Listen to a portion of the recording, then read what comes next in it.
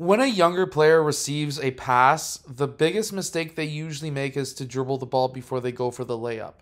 Usually, what will happen when that does happen, when they dribble, is the ball will get stolen. One of the best drills to use is this one, where you drop the ball, they receive it, they take two big steps without dribbling, and go for the floater or the layup, depending on the drill or the skill that you're looking to develop. Try this. I hope that it helps. Good job of Desiree in this clip.